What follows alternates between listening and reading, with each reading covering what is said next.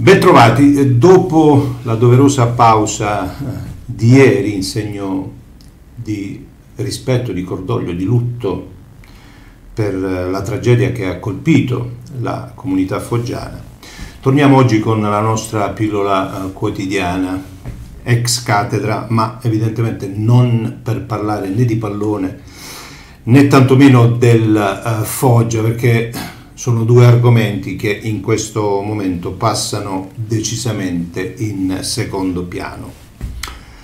Fiumi di lacrime sono quelle che in questo frangente sta versando la povera martoriata Foggia, troppo spessa, scossa, attraversata da tragedie come quella che si è registrata nella notte di eh, domenica dopo la partita di uh, Potenza. Tre vite spezzate nel fiore uh, degli anni. Uh, Samuel, Michele e Gaetano erano poco più che ragazzini, avevano ancora tutta una vita di fronte da affrontare, avevano ancora tanto tempo da poter dedicare alla loro unica grande passione per il calcio, per il Foggia, per quella maglia più in eh, generale. E invece tutto d'un tratto è finito tutto.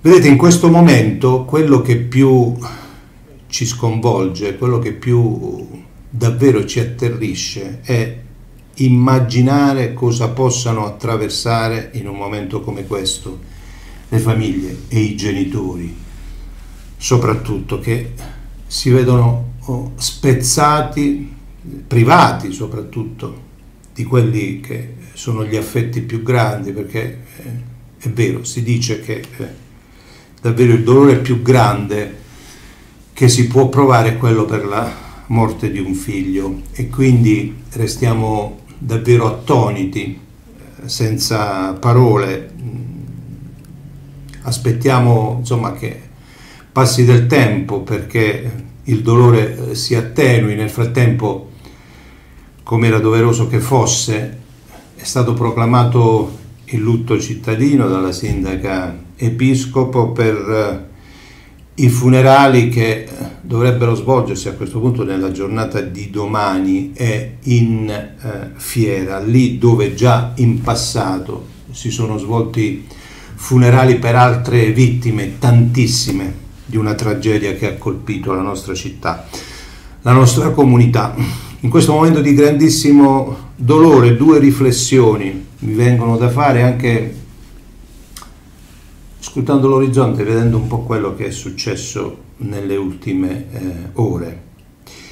Si è mobilitato letteralmente il mondo degli ultras e questa è stata una cosa che credo abbia toccato un po' tutti. Dalla Serie A alla Serie D, un po' in tutte le piazze si è condiviso questo uh, grande uh, dolore e uh, evidentemente ancora una volta il calcio in determinate situazioni riesce ad unire. Ecco, questa grande tragedia ci insegna una cosa, insomma, che poi si può andare oltre gli antagonismi, si può andare oltre le rivalità eh, del campo e magari ci si può ritrovare anche tutti sotto una stessa bandiera ed è quello che ci piacerebbe molto vedere spesso sui terreni di gioco. Sappiamo che è pura utopia perché poi presto si cancelleranno anche questi momenti eh, che sono stati comunque significativi. Però mi premeva davvero sottolineare questo passaggio che è stato particolarmente toccante. Il destino porterà il Foggia ancora in quel di potenza fra poco meno di due settimane. Già, perché fra due settimane il Foggia tornerà a giocare al Viviani, seppur contro il Sorrento, che in attesa di riavere a disposizione il suo terreno di gioco si sta appoggiando fin dalla scorsa stagione proprio sull'impianto potentino.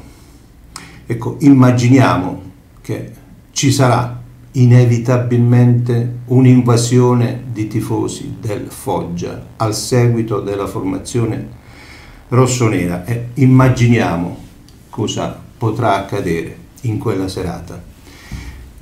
In questo momento, prima di concludere, il mio pensiero va ancora alle famiglie colpite da questo lutto così profondo e soprattutto ai genitori che sono stati toccati davvero in maniera così forte.